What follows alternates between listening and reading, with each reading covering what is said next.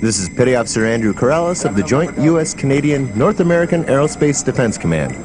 Numerous reports are coming into NORAD of airborne activity associated with Santa. He appears to be in South Korea at the current time.